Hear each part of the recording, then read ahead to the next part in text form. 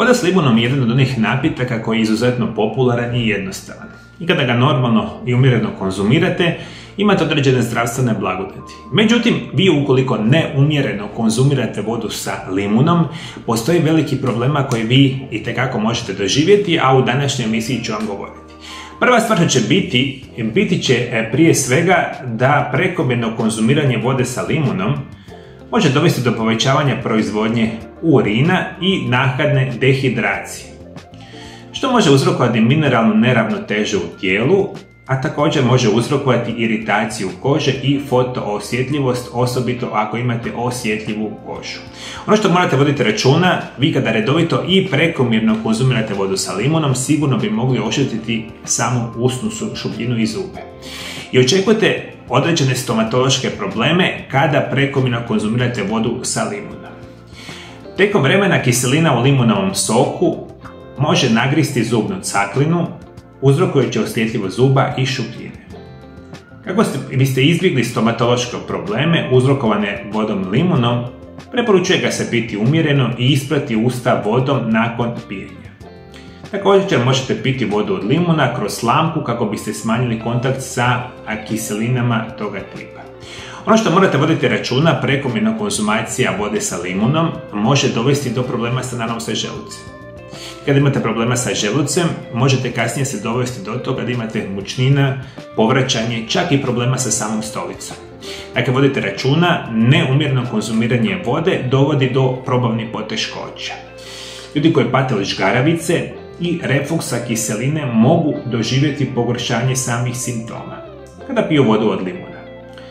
To je zato što kiselina u limunovom soku može iritirati jednjak, što dovodi do žgaravice i refluksa. Kako biste izbjegli žgaravicu refluks kiseline, uzrokovan limunovom vodom, preporuča ga se piti umjereno i ne na tašti, što je jako bitno za reći.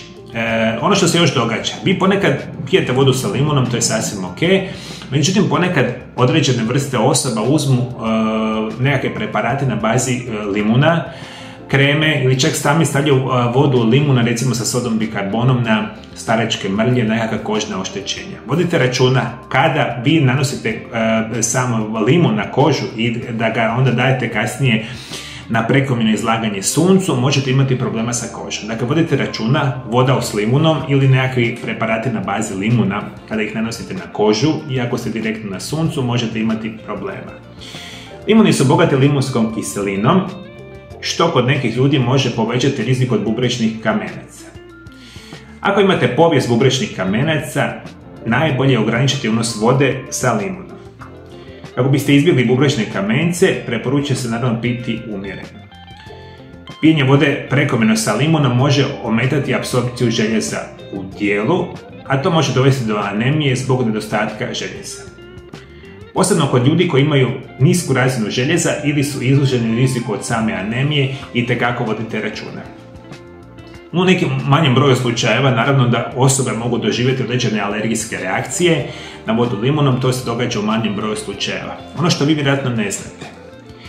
Nažalost, pijete enormne količine lijekova, koje već sami po sebi vama uništavaju organizam. Međutim, vi ono što ne znate, vi ukoliko pijete velike količine lijekova i još ako pijete vodu sa limunom i još ako pijete neumjerenu vodu sa limunom imate mogućnost e, značajnog e, dakle, djelovanja na same uzimanje ovih lijekova odnosno može vam ometati apsorpciju i učinkovitost određenih vrsta lijekova, uključujući antibiotike, lijekove za kemoterapiju ili lijekove za krvni tlak.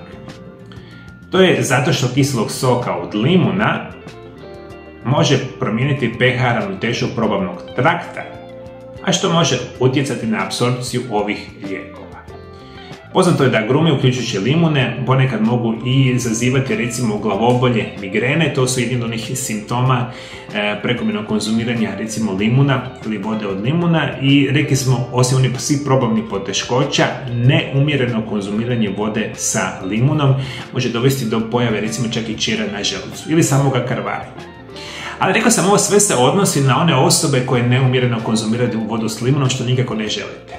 Nekako preporučena dnevna doza i sa određenim vrstama razmaga je popiti recimo 2 dl tople vode sa recimo pola, e, e, recimo pola isičenog soka od jednog, recimo limuna ili pola samoga limuna.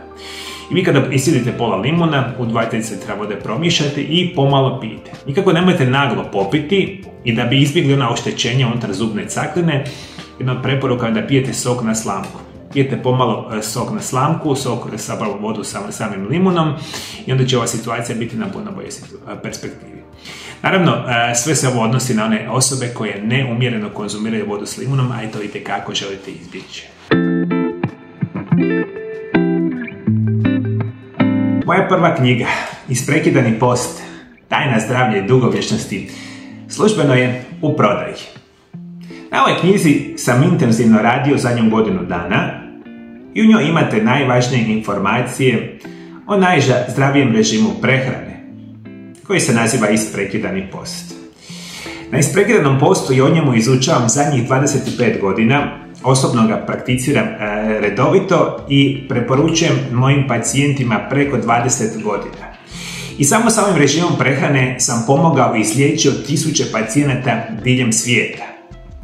Ukoliko ste osoba koja ima bolesne zglobove ili bolesna leđa, ili možda želite spriječiti nastanak raka, dijabetesa, srčanog ili možda moždanog udara.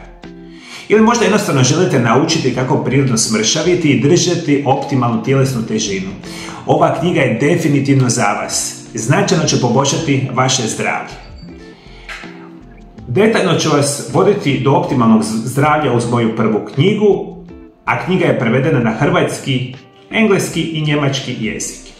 Kako kupiti e, knjigu, e, od danas možete dole ispod video zapisa pronaći link ili direktno posjetite moju web stranicu www.mariolab.eu i putem web shopa kupujete knjigu koju mi kasnije šaljemo u cijeli svijet ili ste možda jedna od onih osoba koja e, ne zna kako kupovati recimo knjige putem web shopa, nazovite moju ordinaciju na ove brojeve telefona i mi ćemo dati e, dakle, najbitnije informacije kako zapravo kupiti knjigu putem poruke, možda će vam to biti na kraju jednostavno.